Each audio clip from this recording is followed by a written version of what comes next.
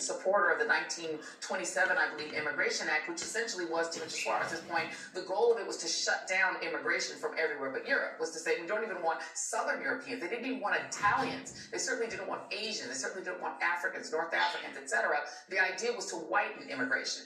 And of course, it was Reagan who did the opposite. Three million people given open amnesty by Ronald Reagan. And those people were, were, were largely non-white. They were largely uh, Mexican migrants. So, so how do you square a party where Ronald Reagan did amnesty, or George Herbert Walker Bush was very open about saying we welcome immigration, we want immigrants, and where George W. Bush said the same and even made positive noises about Muslim and Arab immigration to this?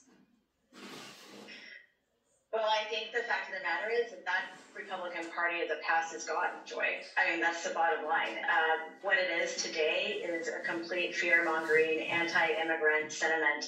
I mean, you mentioned Jeff Sessions. That brought back a lot of memories of the immigration meetings I was in. I spent all four years of the Trump administration working the immigration portfolio, and we could spend hours talking about the things that I witnessed and the things that were said.